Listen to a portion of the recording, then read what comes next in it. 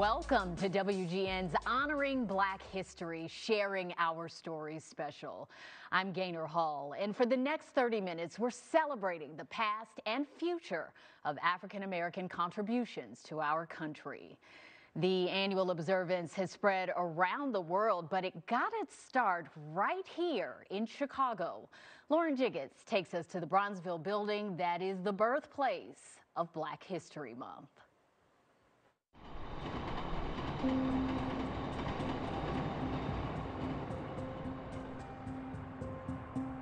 This building was history. Remember the past, restore the promise. It's reflected in every painstakingly restored detail of the former historic Wabash YMCA in Bronzeville. Built in 1911 and completed in 1913, it was largely financed by Julius Rosenwald, the president of Sears Roebuck, and it became the first YMCA for African Americans in the Midwest. Because this was the place. This was the only place. The building often found itself at the intersection of race, perseverance, and progress. So because it was the YMCA, it was considered a safe space. Patricia Abrams is the executive director of the Renaissance Collaborative. They took on the challenge of restoring the building and preserving its history. I just had to take a stance that we will not tear it down and put a marker up and say this was. We just needed to work with uh, everybody to save it. And I think that was a testament of what the Y had meant, this particular building had meant to the African American community from the time it, that it was developed in 1911. And the preservation of history is the heart and soul of this building. It was here at 38th and Wabash that Black History Month was born. Dr. Carter G. Woodson had been barred from attending American Historical Association conferences despite being a dues paying member. Inspired by his experiences at the Y and the Bronzeville neighborhood, he and a small group met here at the YMCA and formed the Association for the Study of Negro Life and History. And in 1926, he created Negro History Week. It was really around lifting up those African Americans who had made great contributions to the American society, but they were not recognized as such. Dr. Woodson found little desire amongst white historians to recognize black history, and so he sought to record and preserve those accomplishments on his own. Most of them had been stolen. And you know, when you steal something and put a patent on it, it becomes yours. While Woodson was preserving history here, the building fueled the present. It was an academic, social, and cultural center. Babies were weighed here. African Americans finally had a place to learn to swim, and women joined the swim team. Pullman porters had a place to sleep, and it was a place for men to collect their paychecks during the race riots. This was considered a safe space. So although people could not cross over State Street, they, they could take the train to work. They could only pick up their checks here. In the ballroom, William Edward Scott unveiled this mural in 1936, a young man in a big city looking at the original YMCA symbol, surrounded by avenues of opportunity. And yet, the once bustling rooms here grew quiet, and the building fell into disrepair in the 70s. Most of this was in shambles. It was a long journey. The Renaissance Collaborative fundraised and found specialized craftsmen to tackle the intricate details. The community has a role to play in the safety and welfare of future generations. So we saved this building primarily for the people who were going to come afterwards.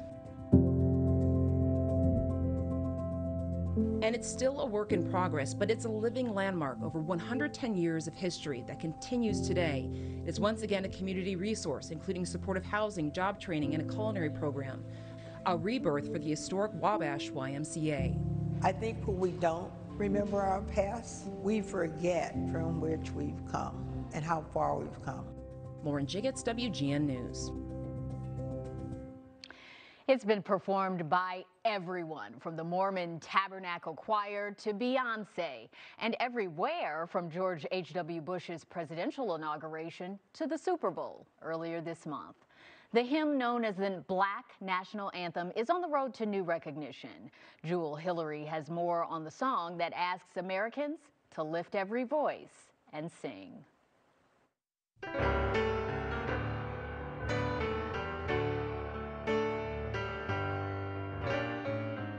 First performed by a group of school children, it should come as no surprise that this beloved piece of American history is the brainchild of a teacher.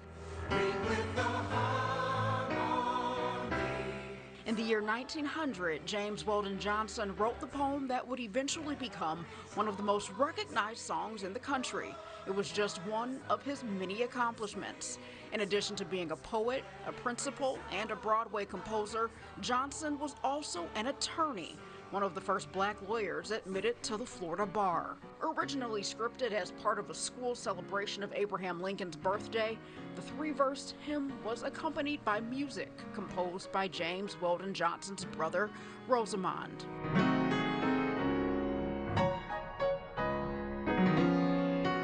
I think it's just a masterpiece.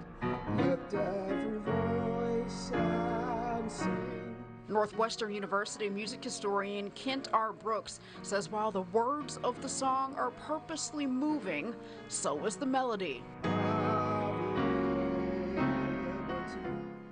There's a device in music called text painting or word painting, and it's when you take the melody or chords uh, or harmonies of a song and you line it with the text to create this, this imagery. that means a lot of different things. How the chord makes you feel, what emotions the chord can evoke. In 1919, during one of the most racially violent periods since the Civil War, the lyrics were given new life, again by educators. Many of the children who first learned the song went on to become teachers themselves, reviving it for a new generation. It eventually caught the ear of Booker T. Washington, ushering it to a new height when it was adopted as the official song of the NAACP. Now, more than 100 years after its inception, United States Representative Jim Clyburn of South Carolina is pushing a bill to have the song recognized as a national hymn. I came to this Congress 30 years ago, and I've been saying for 30 years that I was going to do that. It took me 29 years to build up enough nerve to introduce the bill, thinking I would get a lot of blowback. Uh, I have not, and I really appreciate that. But even though it was well received, the bill has not made it to the floor for a vote. Representative Clyburn says the rousing lyrics capture the spirit of the democracy's promise. It is uh, shared sacrifices in whatever my experiences may have been and how they contribute uh, to making this one country and making the motto of our country real, which is uh, e pluribus unum, out of many, one. It's not enough just to sing the song every February. I have friends who feel, believe it or not, they, they feel weird singing the song. Friends who are white who feel weird singing the song because they feel, you know, that's, I, they feel they're number one doing a disservice, and they they're not obviously uh, descended from from enslaved people. But I think what Representative Clyburn is doing is amazing in that it opens the door. It opens more doors. A few years before his death, Johnson wrote that the lines of the song repay me in elation, almost in exquisite anguish whenever I hear them sung by Negro children. As Americans of every age, faith, and race embrace the song, the anthem's call to action continues to inspire. Facing the rising sun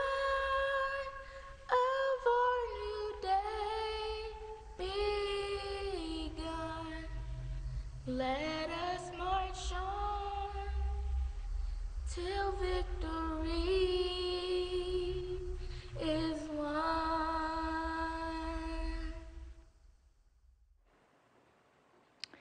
And Representative Clyburn told us he plans to bring the bill to the congressional committee again, hoping for more progress the second time around.